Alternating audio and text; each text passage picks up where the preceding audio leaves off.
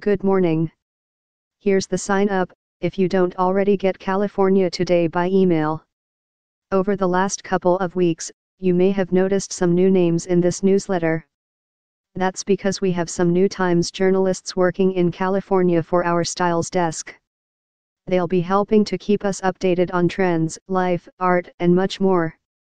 Here's our first entry from one of them, Daniel Hernandez.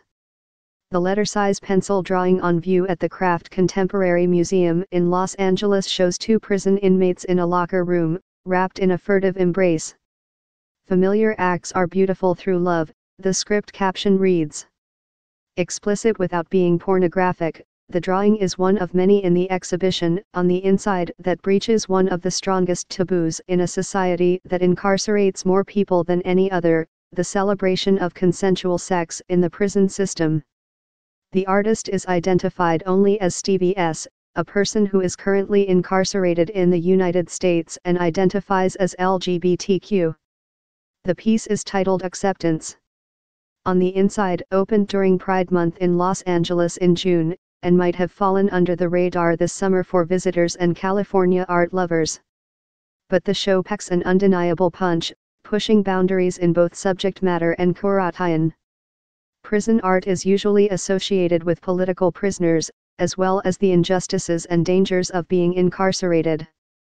Sexuality for its own sake is rarely a focus. You're technically not allowed to have sex, but people in prison are. The institution deals with the rules but not the reality, said Tatiana von Furstenberg, the LA based filmmaker and producer who teamed up with Black and Pink, an online LGBTQ inmate advocacy organization, to create the exhibition. It had its premiere in New York in 2016 and runs until September 8 in Los Angeles. All the art is pretty much on letter size paper. Those are the only materials available, pencils, big pens. That to me says it all, she said. That speaks to the resilience and the power of the human spirit in every way.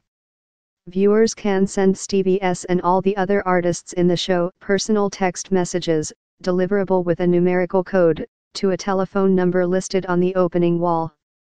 Every two weeks, the organizers of On the Inside print the messages and mail them to the incarcerated artists.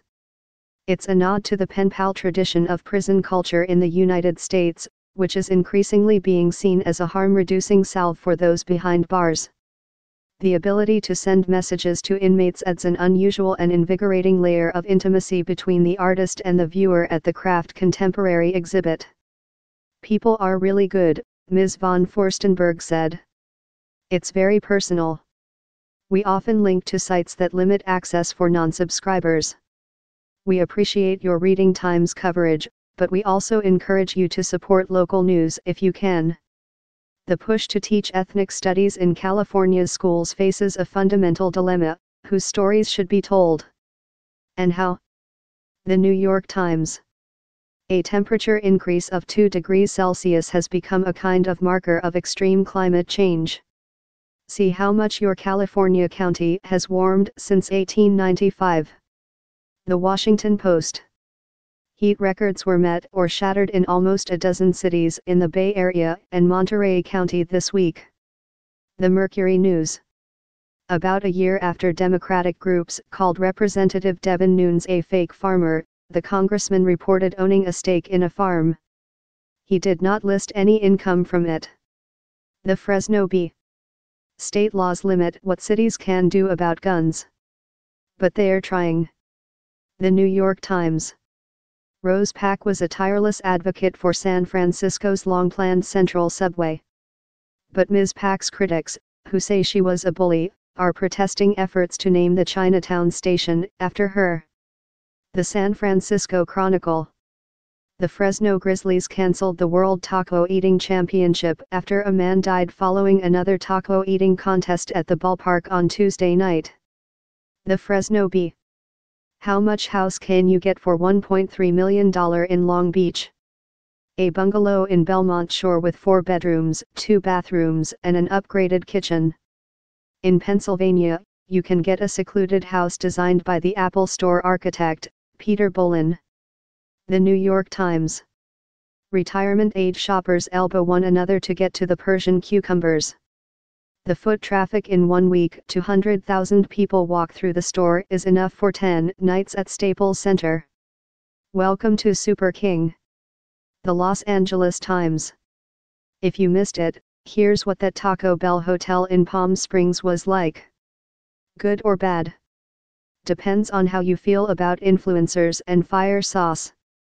Los Angeles Magazine.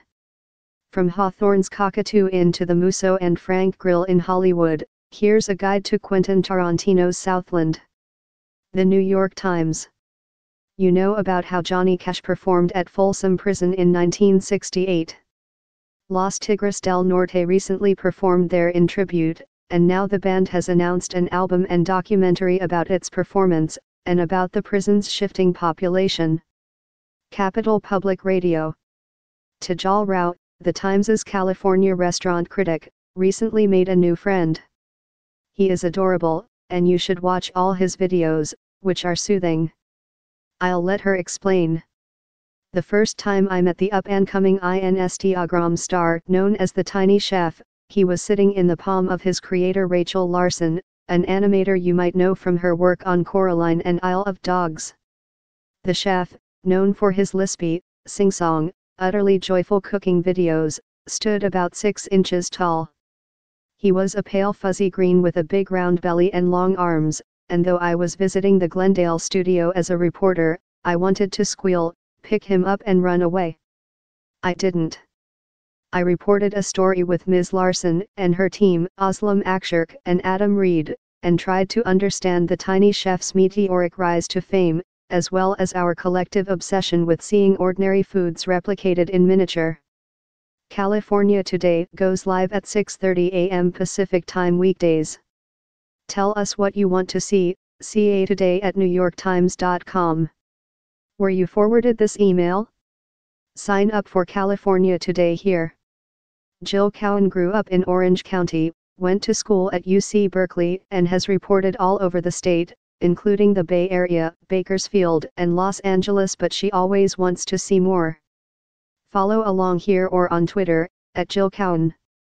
California Today is edited by Julie Bloom, who grew up in Los Angeles and graduated from UC Berkeley.